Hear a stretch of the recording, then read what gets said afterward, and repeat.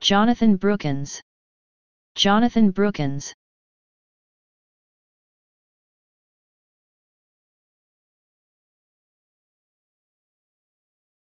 Please subscribe and thanks for watching.